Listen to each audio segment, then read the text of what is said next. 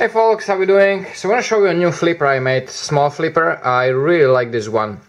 Uh, you can see why probably because it has that beautiful marble carbon fiber. Marble is a new new carbon fiber Nate offers. You know the, the guy Nate I mentioned I think was right before the Blade show goes carbon fiber and it is really cool.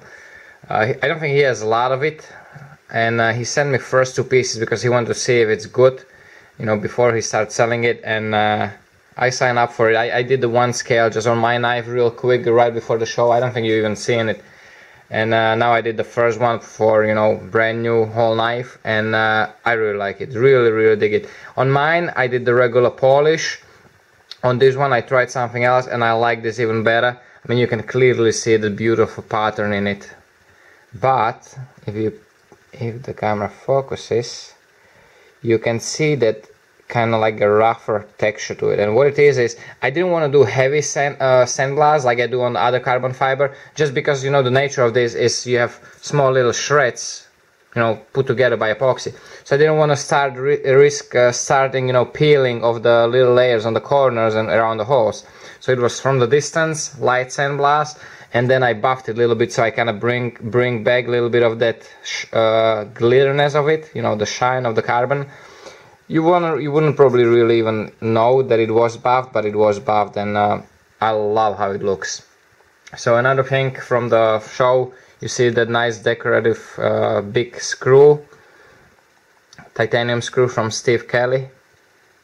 I love his hardware it's just such a good quality screws. I mean they are expensive. I mean just think about it every single one of these screws the little guys are like I think dollar 25 something like that a piece more dollar 40 dollar 40 a piece. So it is expensive. You know you don't have just count you have I think nine nine screws altogether you know including these these are even more the big decorative ones but they are just so cool. And uh, I personally love you know say all, all you want I love the big small screws. Even on here I don't care about the big pivot small pivot custom pivot. It's fun for me to do it sometimes but you know to each his own so small pivot, small uh, flipper, you have the matching marble pocket clip and you have what's pretty cool about this one, nice and smooth, fires like a rocket, good detent. You have that floating suspended backspacer. Let me grab something white so you can see it a little better.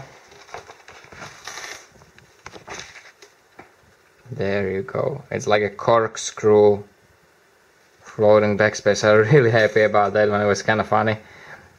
For some reason it was leaning more that way, so it was kind of tricky to get it like perfectly centered because I went it all the way through, like you know, even here. So I, I guess that kind of shifted it a little bit, but on the end it worked out really nice. I like it. You see this? I like when you see the space even between the screws. And since my screws are so tight, it, it was kind of risk that it, it could shift one way but in the end it worked out good. I did kind of similar that corkscrew pattern on the inside. This actually was originally all the way here, it was really long screw, but because it was so thin, uh, what was it, when I was buffing it, it, it caught in the buffer, it actually broke a broke piece of it in the, you know, the buffing machine when I was cleaning it, so that kind of made me mad. But I, I'm pretty happy about this one. Another nice thing about this one is that the grind, siding grind on this is just perfect. Really, really perfect. Very clean. Very even. That really tall switch, the one, it has that kind of like stub nose. And if you look at it, what I like about the stub nose, or snub nose, or whatever you would call it, it creates that really beautiful diamond tip on the front, you know, kind of reinforced. So it's slightly reinforced tip, nice and lean grind here like I do you know around 10 thousandths but you end up with a slightly thicker tip with still good angles on the on the apex on the secondary that is gonna cut well. It's not just prying tip it's still gonna be good cutting tip. And you can see that it goes all the way from here just nice all the way to the tip. I'll really need this one if you uh, camera probably won't focus here. But it's like perfect perfectly uniform. So getting a little better at that. Titanium I just left. I wanted this to be kind of clean like a black and gray so I just left it gray stone wash and I did the the titanium screws hardware blue just to kind of do the little accent of something else. A little bit of car work on the flipper but only on the front and back. The flats are just nice flats like everything else. Pretty happy about this one perfectly centered. Fires like a rocket so this one this one came out cool. And next thing I want to show you is I have this. My older blades from the previous like the first version of the large flipper which they slightly changed slightly like the new ones the the stopping rest here is further back and this is further back also so I kind of try to avoid that gap on the in the close position here. On the large flip we had the little gap here. It still has slide but not not as much as it was before which actually is very common. If you really study knives other people knives a lot of knives without the internal stopping where they have regular stopping like this. A lot of knives show that you know even you know big beautiful like big big big big big big big big big time makers with beautiful knives like Rexford. I love Rexford. Uh, I think it's not epicenter. Is it epicenter? One of that like his flagship just that beautiful beautiful knife. If you notice even that one has it.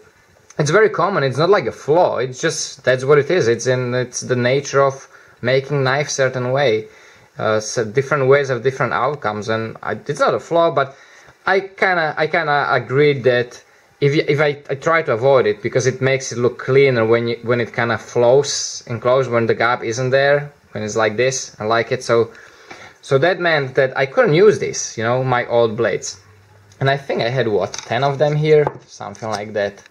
Uh, which actually, plus some of them, even if I cut lock faces, they were, for some reason, something moved and they, I just couldn't use it, you know, period. and no need to explain more. So what I had, I had the idea of doing a little neckers. So check that out. Little necker made from the, you know, they, they were already heated and everything, so a little bit of shaping, reshaping, and boom, little necker, little one of neckers are gonna be born. And I went with the kind of theme what I've been doing on the folders recently, the little bit of thumb ram here, and the nice switch. Of develop the system where I can make it pretty cool looking, pretty nice and even on those wedges. It's still nerve-wracking because it takes very little to go very wrong, pretty much ruin the whole tip and everything, but uh, I'm getting decent at it so this one is and I did a little bit of just spotting because I wasn't gonna do the handle on these just want to make them kind of nice small little neck knives but so I did a little bit of crater in there. Some of them might have rock. I'll see probably gonna have a little bit of fun with this maybe tomorrow. But I wanted to show you that that you can use scraps all different ways and pretty happy about that about the outcome. Made a hole bigger. Oh this one was fun. Uh, one I, I did today I wanted to do hole that's 3 eighths I think 3 eighths or 5 sixteenths. Oh never again. I think it was 3 eighths it's hard even for carbide bits to drill through this hardened AEB-L it took me a while to get through and uh, it's definitely not fun definitely not what I want to do so probably just a quarter inch hole I mean it's plenty just for the little lanyard hole, lanyard hole hole. so that's it guys, just wanted to show you this mainly. Pretty happy about this, it's ni really nice and lightweight, nice and smooth. Pretty cool pocket clip and just nice knife. And uh, it is gonna go to Gear Bastion most likely it's gonna be gone by the time this video will upload because internet speeds here suck. So, you know, pretty much I put this on upload and start list, start putting the listing together and put it there. So, you know, it is probably gone when you're watching this. But guys, thank you for the support. By the way, a lot of people ask, you know, you can always just hit that subscribe thingy on the in the shop and you get the instant email notifications, you know, that's if you really, you know, want something, you get the email every time I list something.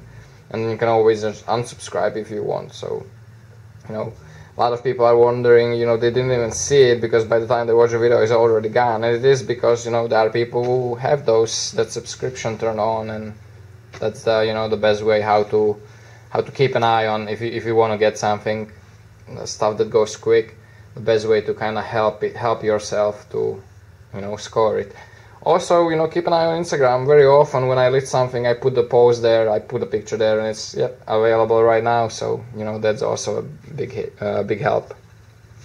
So guys thank you for watching. Thank you for all the support. Take care stay safe and remember don't cut yourself